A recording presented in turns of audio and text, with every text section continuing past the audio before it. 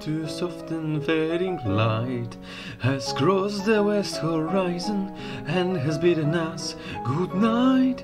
And what a lovely night it is to walk a moonlit field, to see the softer shades that above starlight now revealed.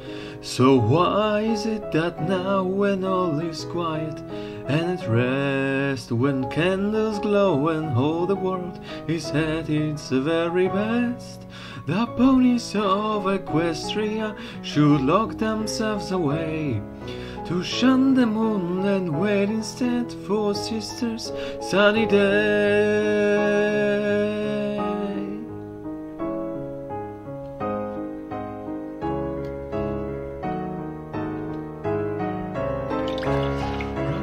Wish that they would see things like I do. And am I so wrong to think that they might love me too? Why shouldn't they adore me? Is it not within my right? I'll not be overshadowed, mine is not the lesser light. I've waited long enough now for them all to come around, and often they threaten the moon will stand her ground. Now all the now will wonder of my dark and jeweled sky. When all the know is wonder of my dark and lullaby.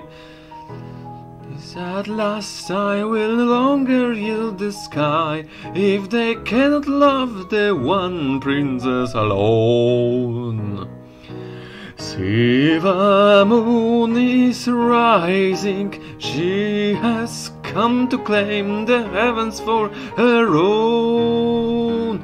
Now all we know the wonder of my dark and jeweled sky, when all the world is wrapped in, in an eternal lullaby.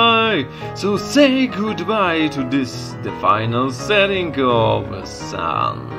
Tomorrow dawns in darkness, the night time has begun.